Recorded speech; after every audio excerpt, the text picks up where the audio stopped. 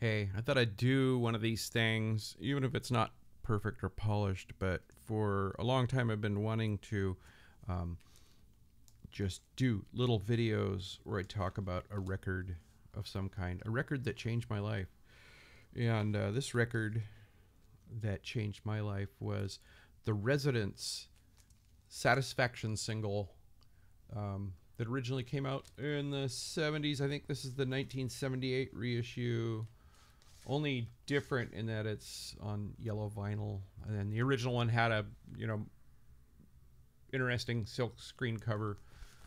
This one kind of reproduces it a little bit, um, and this one's pretty commonly available. You could still pick these up for pretty cheap. Um, I think I'm not sure, but I think they might have reissued like one of those uh, maybe Superior Viaduct might have reissued um, Satisfaction looking a little more like the original one. Um, but this record is significant to me because I bought this when I was a teenager. I had not heard the residents. I've heard of the residents.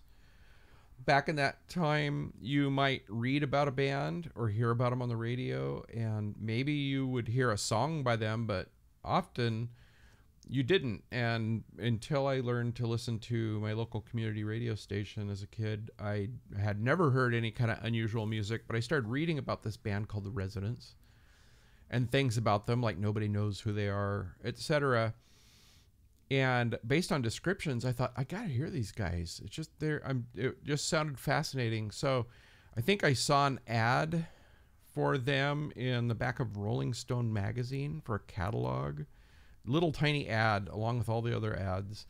And so I sent away, and it seemed like I completely forgot. Then get the catalog for Ralph Records, which I still have some. I should have got one to show it to you. And then read the catalog and thought, you know, I don't have a lot of money. I was a teenager. I got had a really meager allowance, and I hated mail ordering stuff. So it better be like I better get like the bang for my buck. And so I read through their catalog and based on their description, this, and also I was like really into Devo at the time. Devo was sort of the gateway drug into unusual music. So, uh, of course, because Devo also covered Satisfaction, this was a, like a logical jumping on point for the residents for me. And I think it was like two bucks. They were, um, Ralph was selling their singles for really cheap. And I think they even had sales on some of their seven inch records, either by them or other artists like Art Bears, for like 50 cents or something. And I stupidly didn't pile up on them. But um, so I got this, and then I wanted an album. I had enough money. I could buy an album. I think they were selling LPs for like uh, something like six ninety nine or something like that, and absurdly cheap. It seemed to me even then. And so I thought, well, I can afford a um, an LP and a single. So based on reading it and me totally misunderstanding it, I got also ordered Third Reich and Roll, and um, it seemed like months later they come just because I'm just I can't wait for stuff. I just I've always had a issue with mail ordering stuff, so I get them, and the first thing I do is put um, Satisfaction on the turntable and it was just nuts. I mean, if you've ever heard it, it's like the slow, dirgy, almost heavy metal like take on satisfaction, just somebody playing maniacally the riff over and over and over, and then a super distorted voice, which was a new thing to me. Um, a super distorted voice just kind of screaming these insane lyrics. And while I love that song, and it was just mind blowing to me. The flip side to this song, which is "Loser is incongruent to weed" or "Loser weed," as I always called it. The B side is just the most perversely weird, almost nursery rhyme like song over a really tinny, what sounds like a banjo being played maniacally, and um, the the lyrics are just really peculiar and indecipherable. And I think maybe because it was on yellow vinyl, which is novel to me at the time, just colored vinyl made me think because we had a children's record as a kid that was on yellow vinyl. It made me think this is like God, this is like a children's record from Mars. It just I still to this day kind of prefer the B side to this Residents um, song, "Loser Weed," to the A side because it's just so goddamn peculiar. I didn't know at the time that I think the um, the uh, banjo or maybe it's treated guitar now was actually played by Snakefinger who collaborated. And then it, that opened a whole thing like who's the Snakefinger individual? That's just really weird and backing stylist the Pointless Sisters.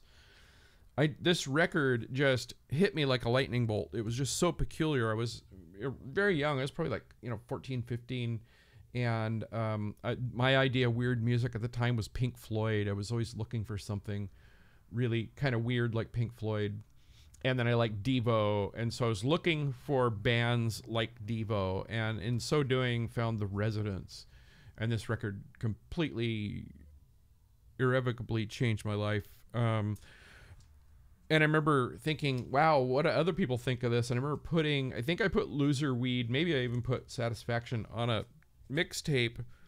And when my friends and I are driving around, um, I made them play it and they, they like played a few minutes of it and then just yanked the tape off. And i think after that i was never allowed to contribute to uh, a road trip jam sessions ever again. And i was just kind of flabbergasted. Wow why didn't they think that was as weird and as cool as i did? But then i had some grown up to do as jack Handey would say. But yeah and then this record was I'm really embarrassed to say I it was kind of indecipherable to me. I thought it was really bizarre. I loved it, but the weird part was I had just a passing familiarity with some of the garage oldies that are being lampooned on this record. If you don't know this record, basically it's it's like this weird it's like the stuff that was on the radio in the 60s run through this weird sensibility and just bizarrely reinterpreted. It's almost like this post-apocalyptic kind of sounding hit parade. It's just really strange and bizarre. They're like two album side suites. One of them is, of course, they're not listed on the back, are they? Um, it's like Hitler was a vegetarian was one of them, and the other one was swastikas on parade.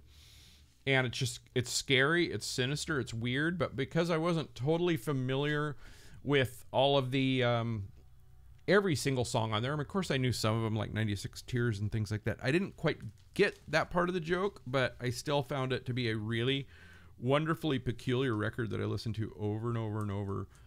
And um, maybe not the best introduction to the Residents because it's them playing other, you know, cover songs, which is something they did later in their career with things like the um, Composer series, which is where they started to lose me and then I would I would uh, I kind of went more into the Residents catalog and found wow there's things I really like. There's things I don't know if I like it now, but I think later it's going to grow on me and that was indeed the case. And I think the Residents were just fantastic. I had the um, pleasure of interviewing the Residents Homer Flynn, their artistic director, and I told him to tell the residents that this record warped me for regular music for life. And he replied, Well, I'll tell the residents, and I'm sure they'll be pleased that you were warped. So that was super gratifying for me because that record, this record, just, as I said, completely ruined me for normal music, music forever. And I'm eternally grateful to the residents. So yes, uh, that's. I'm gonna try to do more of these. This was kind of fun.